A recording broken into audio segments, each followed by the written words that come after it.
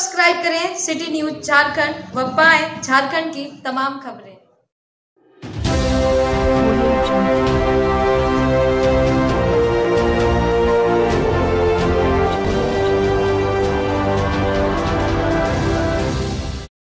आज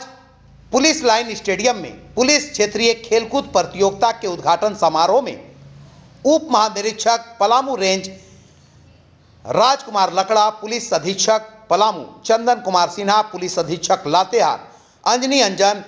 एसपी अभियान, BK Mishra, deputy mayor Mangal Singh, तीनों जिला के डीएसपी और अनुमंडल पुलिस पदाधिकारी तथा अन्य अतिथिगण शामिल हुए। उद्घाटन पुलिस उप महानिरीक्षक के द्वारा किया गया।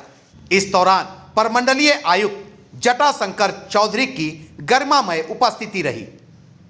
एवं खेल के सभी प्रतियोगिताओं को शुरू करने की इजाज़त दी गई। उद्घाटन समारोह के दौरान तीनों जिला के पुलिस बल के खिलाड़ियों के द्वारा शानदार मार्च पास्ट किया गया एवं आयुक्त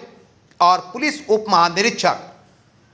पुलिस पदाधिकारी तथा कर्मियों के साथ समारोह में शामिल अन्य अतिथियों के द्वारा गुब्बारों का गुच्छा एवं आतिशबाजी के साथ इस प्रतियोगिता में शामिल खेलों को प्रारंभ किया गया। आज खेलने जाने वाले खेल वॉलीबॉल एवं हॉकी की शुरुआत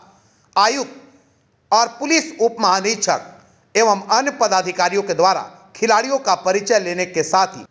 प्रारंभ करवाया गया एवं उनका उत्साहवर्धन किया गया। पुलिस उप महानिरीक्षक श्री राजकुमार लकड़ा सर का कि उन्होंने